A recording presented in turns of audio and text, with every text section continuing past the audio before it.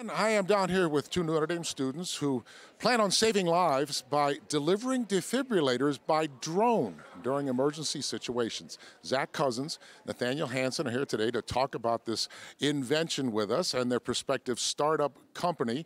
Uh, thanks for joining us, fellas. And by the way, Jeff Bezos, don't you even think about stealing this idea because the entire Notre Dame Law School is ready and waiting.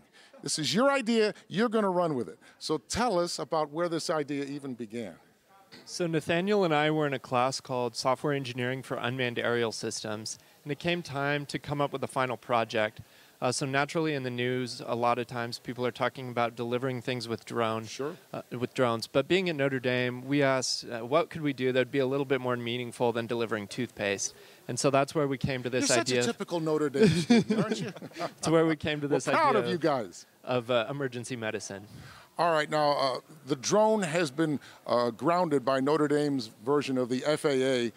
I don't know what they thought could possibly go wrong flying the drone here in the Student Center. So we're not going to fly it. But Nathaniel, ex- explain what it does and how it would work. Sure thing. So the way that our system works is we integrate directly with 911 call center software. So when a call comes in and it's identified as a cardiac arrest, our system automatically kicks in. We identify a location where the drone could be sent to. The drone then takes off and is airborne within 15 seconds and can fly directly to the scene of the incident at 60 miles per hour. Once it's there, we have a payload release mechanism which safely lowers the defibrillator to a waiting bystander to administer care. So our goal is to be able to cut the nationwide average response times in emergency response scenarios. So, in terms of, of reality, of this becoming a reality and the technology, where are you on the scale from uh, zero to 100? So right now we're in the process of raising a round uh, to fund this project. Uh, we've come to an agreement with the city of South Bend to enter a pilot program.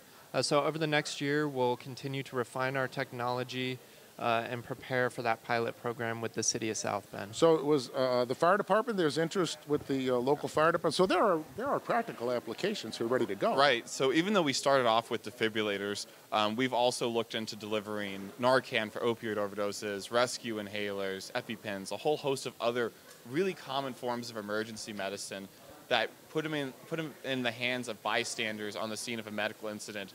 They can make a huge diff, a huge impact. Now, as you said, that you're you're going for something more important than delivering toothpaste. I mean, this is life-saving technology here, but it also has to be a business. I mean, you have to be able to sustain yourself. Talk about the business aspect, where you are in that Yeah. right now. So we operate as a combination of hardware and software as a service.